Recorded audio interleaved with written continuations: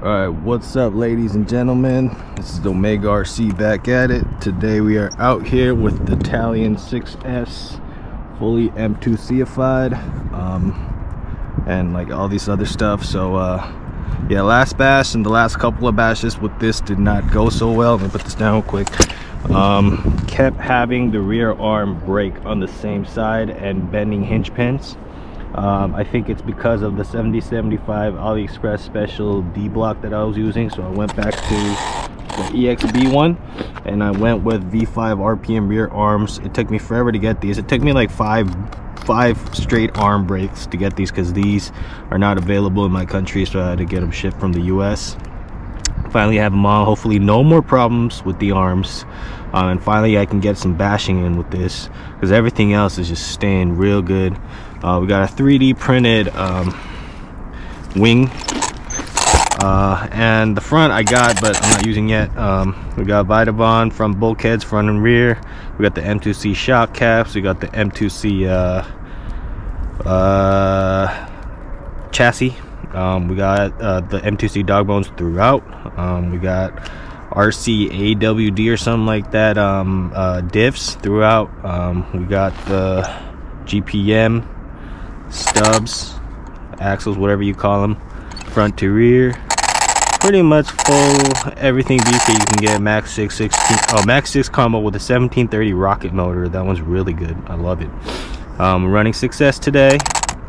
Um, we also have the MT410 out, so battle the 6S um, fully beefcake rigs. Let's see who wins. Uh, enjoy the show, guys.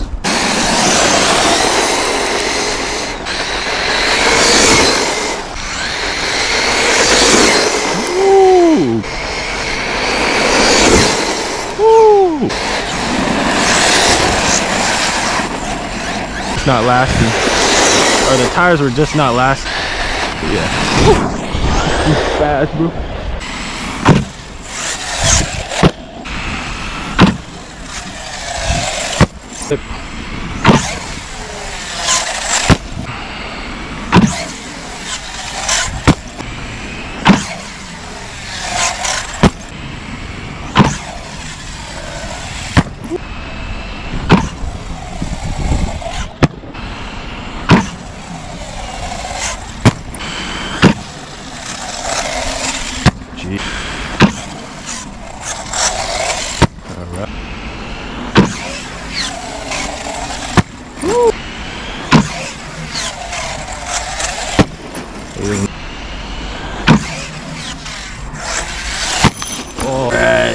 Assess it.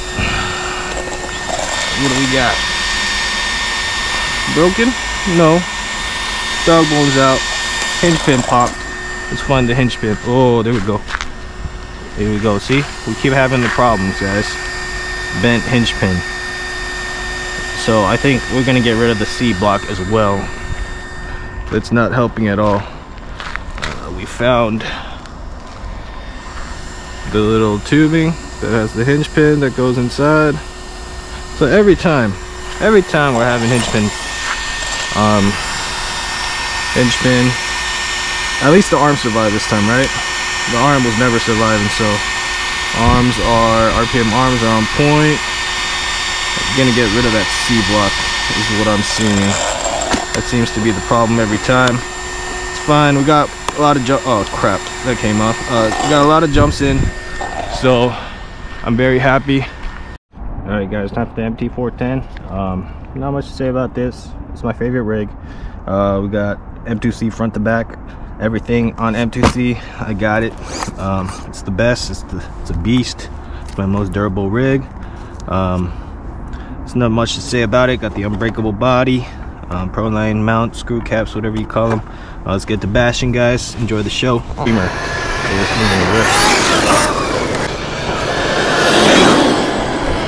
transition. Woo! Jesus.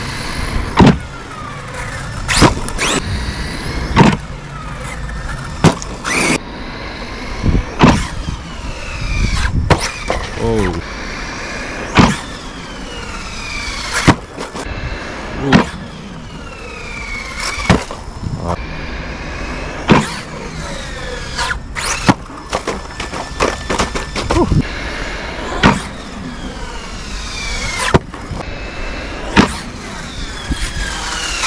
Oh my god.